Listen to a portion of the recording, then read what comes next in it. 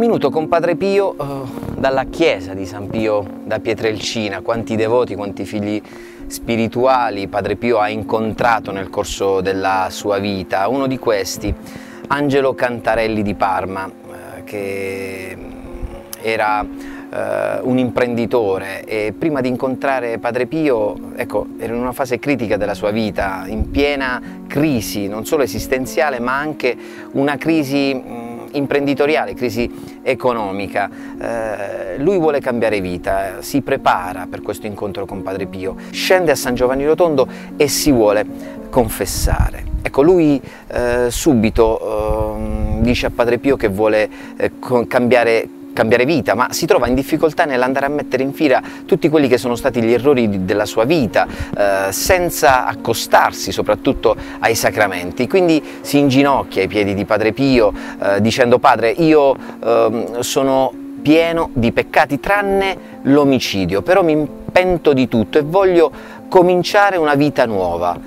Il padre ascolta, eh, chiede qualche particolare, entra nel dettaglio di diversi peccati e poi gli dà la soluzione. Meravigliato Angelo eh, gli chiede ma padre ma mi ha sentito, mi ha ascoltato bene quali sono stati i miei peccati? E padre Pio lo tranquillizza e risponde come non ti ho capito, eh, secondo te ti assolvevo così, stai tranquillo, sì che ti ho capito.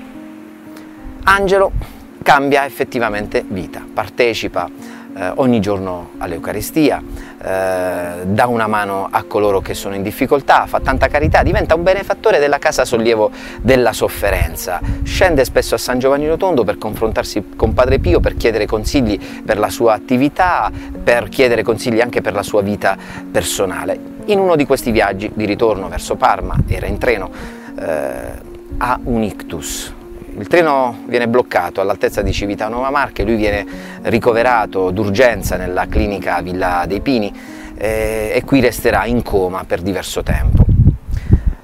Padre Pio viene avvisato e manda dall'amministrazione della Casa Sollievo della Sofferenza Enzo Bertani per eh, capire un po' qual era la situazione. Purtroppo la situazione era critica, lui era in coma, eh, aveva una serie di problematiche e tutti cominciavano a lamentarsi soprattutto la moglie di ehm, Angelo, eh, dicendo ma perché?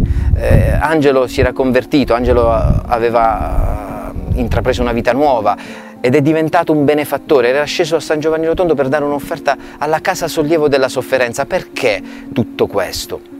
Enzo Bertani eh, racconta eh, tutti questi dissapori a Padre Pio nella cella numero uno, che ascolta e non risponde e poi si trattiene nuovamente in preghiera chinando il capo. L'indomani, dopo la celebrazione dell'Eucaristia, fa chiamare Enzo Bertani e gli dice vai dai familiari di Angelo e rassicurali perché ho chiesto al Signore di continuare a far vivere Angelo per altri dieci anni.